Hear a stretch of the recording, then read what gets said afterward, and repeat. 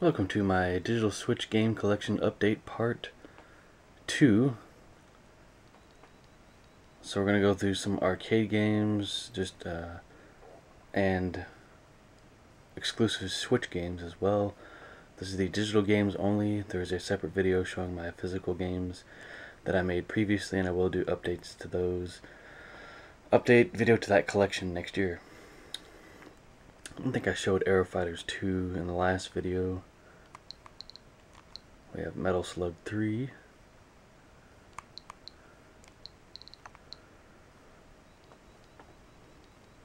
Frogger. Uh, Bloodstained Curse of the Moon. Burnout Paradise, which is, which is a great port of the game. It's not quite as good as the PlayStation 4 or Xbox One port, but it's pretty good.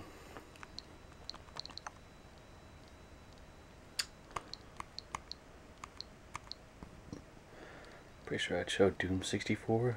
If not, then here it is. Another great updated version of that game.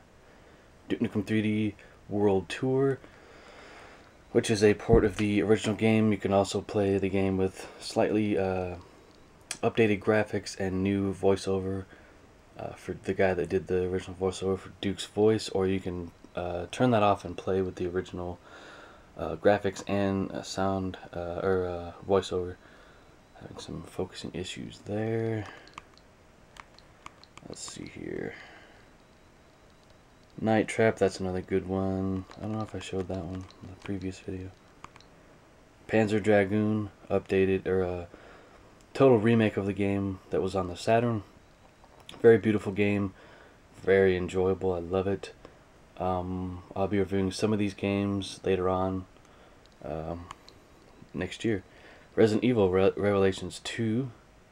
Great game, very challenging. I've not even come close to beating it. Sega Ages uh, Outrun arcade game. Wish I had a steering wheel for the uh, Switch. That'd be cool to play it that way. Sonic Forces 2. Um, Another great game. Not quite our, our uh, pretty good game, nonetheless.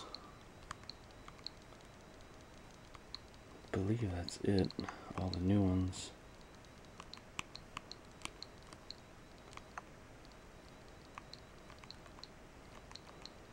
Yep, that's it. And of you might be wondering why I don't have Turok 2 for the Switch. I have it on PC off of Steam, but I actually might get it for the Switch because I do intend to play the Switch more than my other consoles. So that is my short update of my digital collection, guys. Look forward to two or three or more of these uh, in next year. So thank you very much for watching.